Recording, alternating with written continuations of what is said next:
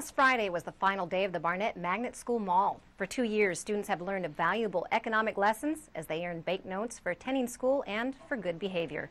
Then each Friday, the Barnette Mall would open as young entrepreneurs sold their wares, from tasty Bolivian cinnamon sorbets to cute, crafty critters.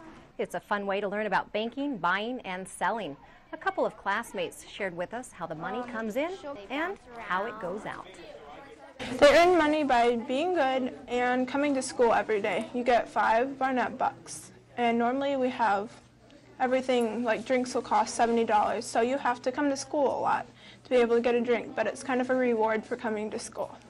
I went to my friend's house one day and uh, he handed me a pen because I was writing, and he handed me some Bendaroos, and I started making bender friends. And um, yeah, and then I started thinking, well, what if, since I'm opening up a store, I need to think of something. Maybe this is perfect. Maybe I can make bender friends and and awesome, crazy designs. So that's what I did.